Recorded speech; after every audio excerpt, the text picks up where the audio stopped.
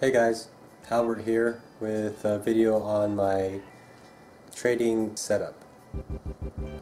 I have four monitors and a laptop.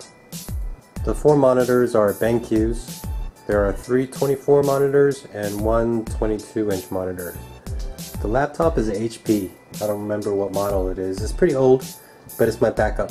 Thinkorswim for Benzinga and for other studies because Thinkorswim is really good at that, having a lot of studies. If shit hits the fan, I can use this thing to go straight to a different internet source. In my case, it's the Karma Go.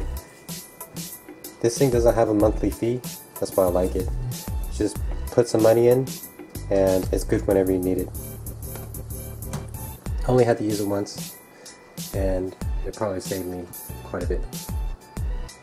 For the videos and uh, one-on-one -on -one coaching that I do, I use this Blue Yeti suspended with a spider suspension, 20 inch rod connected to the Rode PSA 1. It's flush mounted onto this white table. This table is an IKEA. I think it's the Bekant model. And that is connected to a sit stand electric frame. They usually don't go together, but I really like this gloss white. Black and white, like pandas.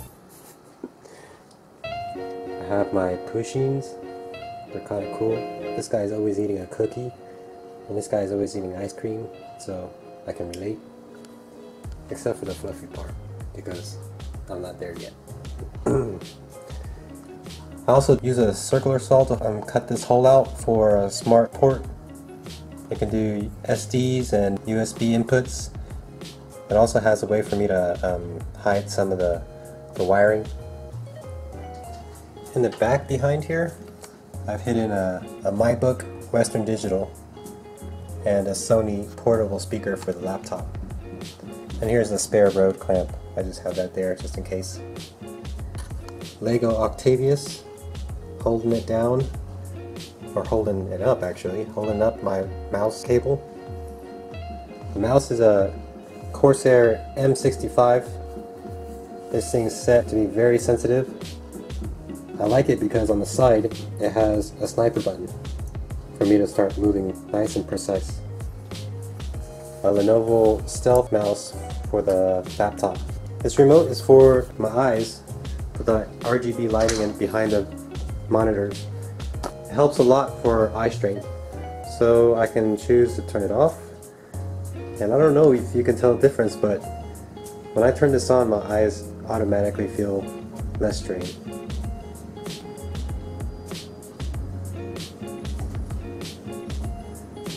In case I want to have a lot of fun.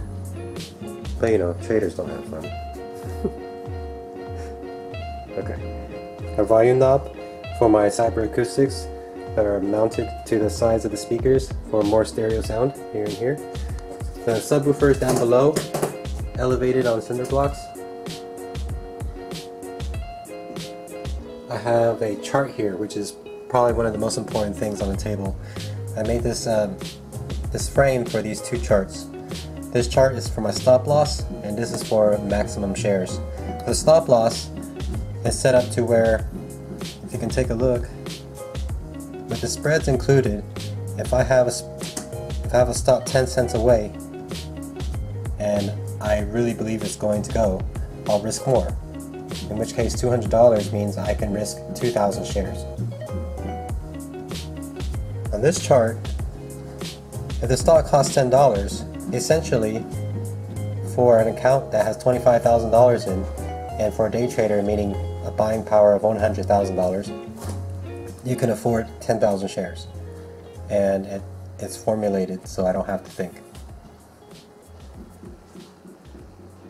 The keyboard is Cherry MX Ajazz.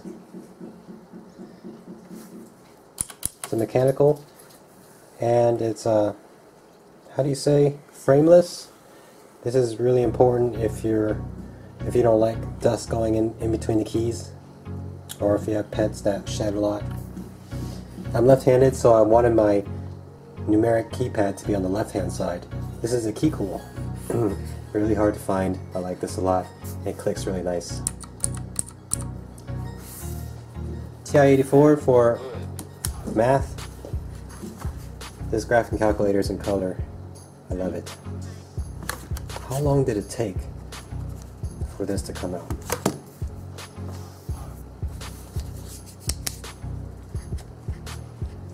Grip exerciser when I really feel like I need to choke something. but this is uh, mainly for my arm wrestling. Pass this time. This glorious extended mouse pad is elevated by Lexan. There's a felt pad there so I don't scratch the table. The Lexan is the same width as the clamp for my armrest, my swivel armrest here. That way it doesn't protrude. It's nice and flush.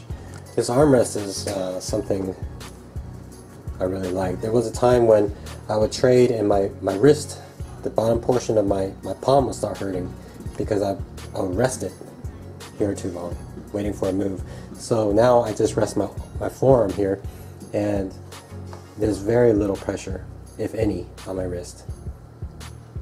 After I got my right hand, my left hand decided that it got jealous, so I got two of them.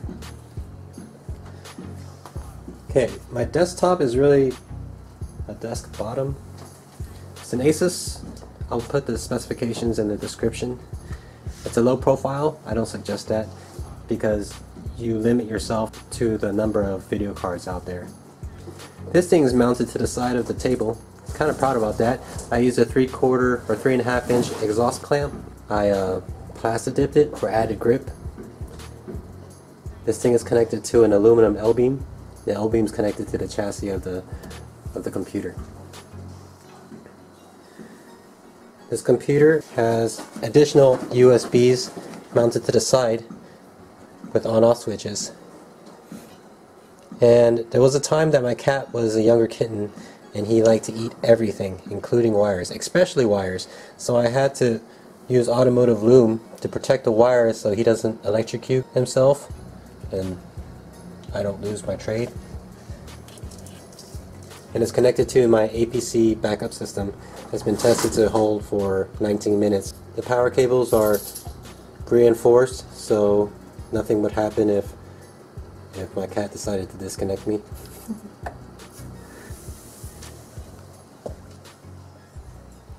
And what else? Oh, my um, LG 920s for for my cell phone, my V-Modas for music, and my decor, my cross, and that soothing ticking sound in my videos is my clock that I used in my classroom when I was a high school math teacher. So that's about it guys. That's my setup.